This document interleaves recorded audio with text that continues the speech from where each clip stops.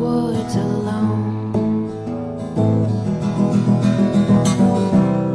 What big eyes you have, the kind of eyes that drive wolves mad. So just to see that you don't get chased, I think.